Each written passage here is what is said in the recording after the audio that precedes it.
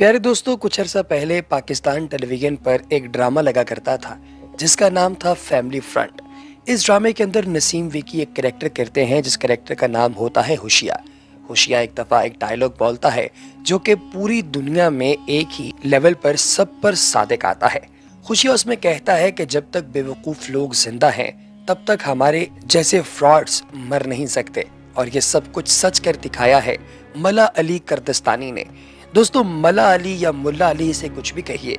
ये एक ऐसा फ्रॉड आदमी है, जो कि पूरी दुनिया के अंदर सक्सेसफुली लोगों को स्कैम करता आ रहा है। इस वीडियो को, जो कि एक साल पहले शूट हुई, तकरीबन दो से जायद मिलियन लोग देख चुके हैं। इस वीडियो के अंदर आप देखेंगे कि मुल्ला अली कदरसानी साहब ने अपने पास एक खूबसूरत सी लड़की को बिठाया हुआ है और ये उसके जिन निकालने का एक अजीब सा करतब कर रहे हैं। करतब मैं इसे इसलिए कहूँगा क्योंकि हकीकत से इसका कोई ताल्लुक नहीं है। मुल्ला अली करदस्तानी कभी उसके हाथ पकड़ते हैं, कभी उसके बाल पकड़ते हैं, कभी उस लड़की को खड़ा करते हैं, कभी उस लड़की को बिठाते हैं और उसे दिखाते हैं कि उसकी उंगलियों के अंदर जोड़ मौजूद हैं। दोस्तों, ये बड़ी ही स्टूपिड किस्म की हरकत थी जो पागल से पागल आदमी को भी समझ आती है। अलबत्ता, लड़की फुल सेक्सी है दोस्तों, ज़रा गौर से देखिए।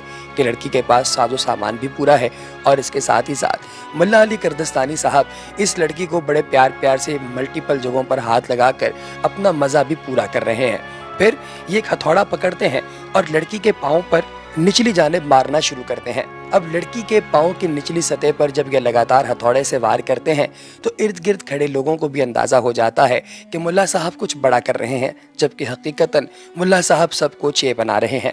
दोस्तों, फिर इस लड़की के सर पर एक कपड़ा डाल दिया जाता है कि इसके अंदर जो जिन है वो मुसलमान है और वो यहीं से बाहर निकलेगा तो हम इस कपड़े के ज़रिए उसे पकड़ लेंगे। फिर उसके बाद ये इसी डंडे को पकड़कर इस लड़की की पीठ पर मारना शुरू कर देता है और फिर लड़की से कहता है हाँ तेरे जिन निकल गए। लड़की कहती है हाँ निकल गए। कहता है वाव कॉन्ग्रेचुलेशन फिर खड़े होकर दोनों ऐसे उंगली के साथ उंगली मिलाकर एक फिंगर किस करते हैं और फिर उसके बाद दोस्तों, ये लड़की इसके बकौल दीन कबूल कर लेती है, जिसका इस वीडियो के अंदर कोई आसार नज़र नहीं आ रहा। लेकिन खैर दोस्तों, हम क्या कह सकते हैं? मुला अली कुर्दस्तानी को कई जगहों पर पहले ही ब्लॉक किया जा चुका है।